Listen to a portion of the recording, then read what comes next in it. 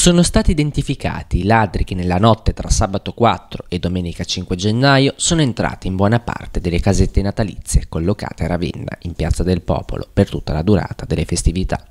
Gli individui che hanno colpito in quella nottata sono stati due giovani, uno di 19 anni di nazionalità italiana e l'altro di 22 anni e di nazionalità marocchina, entrambi con precedenti. Hanno forzato le porte di ben sette di queste strutture in legno, portando via il denaro lasciato dai commercianti, oltre ad alcuni oggetti esposti per la vendita, quali berretti, sciarpe e alimenti un furto commesso sotto gli occhi elettronici delle numerose telecamere di Piazza del Popolo.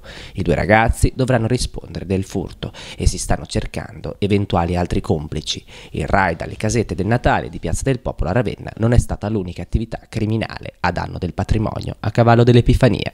Furti sono stati segnalati in tutta la provincia di Ravenna, in particolare bande di topi d'appartamento hanno colpito nella zona di Bagnacavallo e diverse case di Faenza.